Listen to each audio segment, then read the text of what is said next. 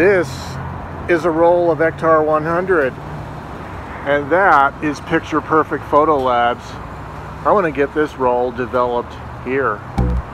Let's do this.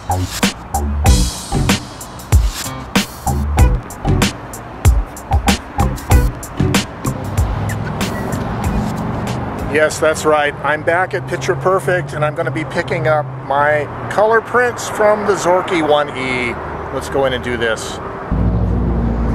But here is the thumbnail sheet and it looks like all of the pictures, yes, all of the pictures look like they came out pretty good. So the last time we took a look at the Zorki 1E, I was walking around the streets of Central Avenue near Nob Hill taking photos with a roll of Ektar 100. This isn't the roll, this is just the box top with the uh, TT Artisans light meter attached to the the camera, of course. And uh, so I finished that video, uploaded it, but didn't show you the results from the pictures. So I thought it would be a fun time to just go through some of these pictures and talk a little bit about them. Stay tuned. So it was on a Tuesday morning when I went over to my friend Ethan's uh, shop with this camera and the roll of Ektar, but I hadn't loaded the Ektar yet. So I loaded the Ektar while I was at his shop. So the very first frame I got was actually one of those exposures you do when you're loading the film, and I thought it was actually kind of an interesting abstract shot it was very unexpected, but kind of cool. But then the next two shots were just practice shots that I was taking indoors in his shop under subdued lighting, and just keeping in mind this is 100 ISO film.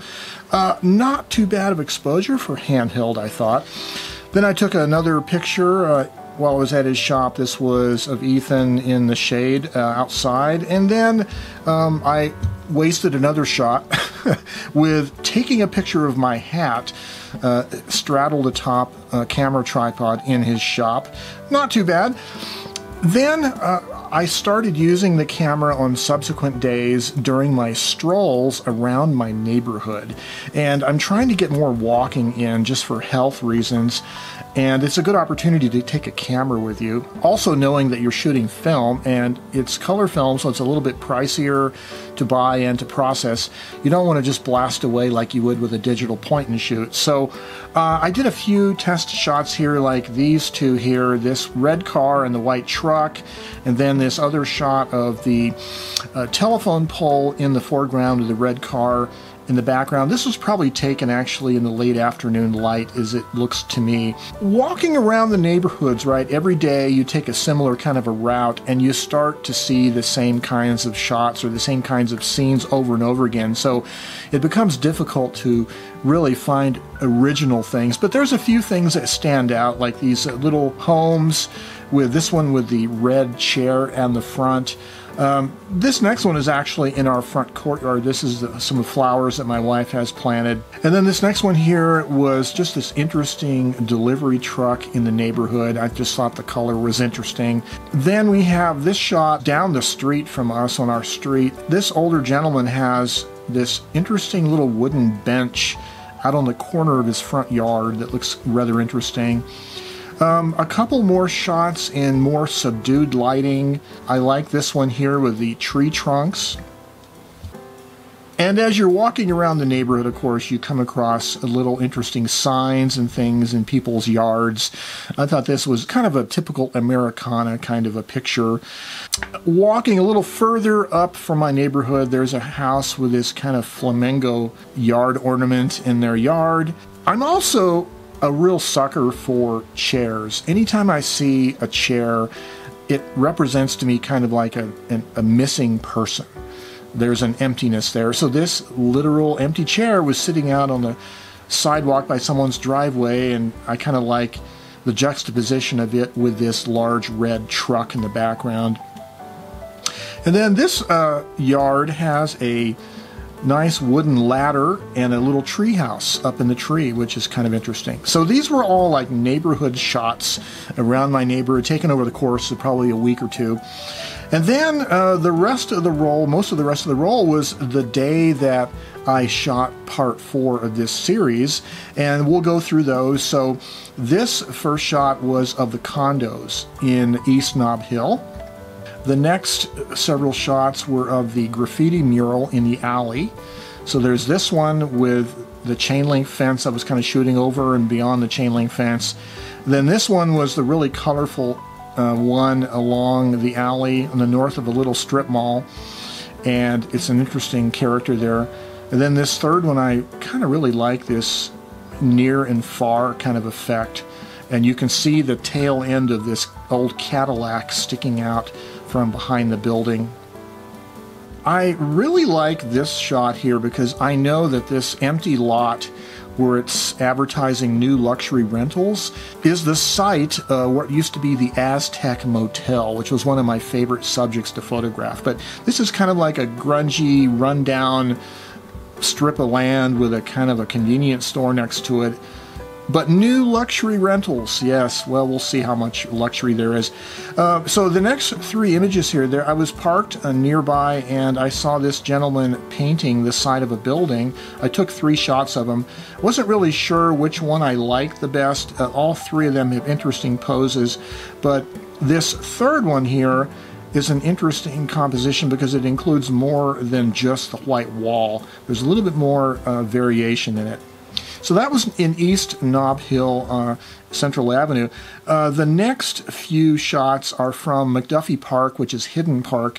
Uh, this here is in an alleyway on the side of a house leading into the park, and the owners of this house have mounted what used to be a drinking fountain on the side of their garage for what used to be for people to use, and apparently the faucet and spigot and all that are no longer installed, but the drinking fountain porcelain is still there, which I think is really cool. And then this next shot, this um, telephone pole always has interesting flyers and stuff attached to it. This is right at the same entrance to the park. And I really like this colorful piece of artwork that was advertising some event. Uh, then the next few shots are just the backyards of people's houses that adjoin uh, border on the park. So here is a classic kind of a ranch home with an American flag flapping in the breeze. And then this next shot here is really kind of a wonderful picture.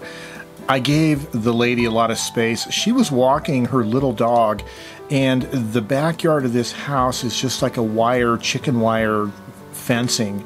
And so she's looking and talking at this big white dog in the backyard. I'm assuming the dog really loves having park people come over and talk to him and maybe pet him through the fencing. But I just thought it was a great kind of example of Americana and suburbia right here and dog walkers in the park.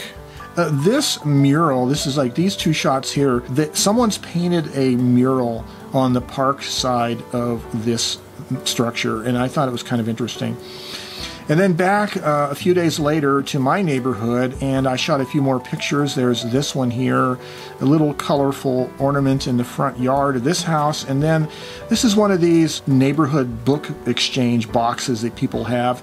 It looks like I missed the focus on this one, and I'm focused in the background, which is unfortunate. This Ford 100 pickup truck has been in a, a, neighboring street for a long time, and it's always uh, attractive to me when I walk down because of the patina of rust on it. And apparently, it's still running.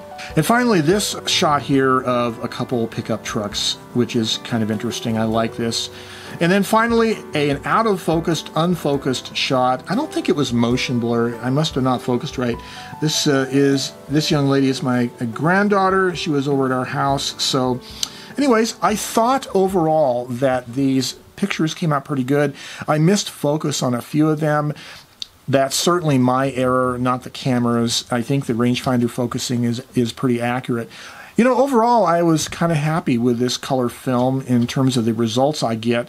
Certainly, it's a challenge shooting these kind of pictures in a suburban neighborhood when you're making the same walk around the same streets with the same houses and yards and cars. I did see some compositions. I didn't actually photograph them, but I did see some ideas for when you're walking down a sidewalk and there's some shrubs next to a driveway. And then you have the back end of a car sticking out from behind the shrub, a, block in the sidewalk. I saw a lot of those kinds of similar compositions, and I thought that might make an interesting kind of a little study in suburban architecture suburban automobiles interacting with the pedestrians on the sidewalk.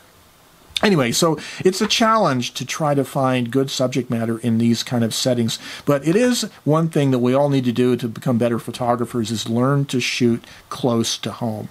Anyways, this uh, camera has proven to be quite useful in these kinds of settings. Color film, however, is expensive. Getting it processed is expensive. Black and white, especially if you process it yourself, certainly remains a viable alternative.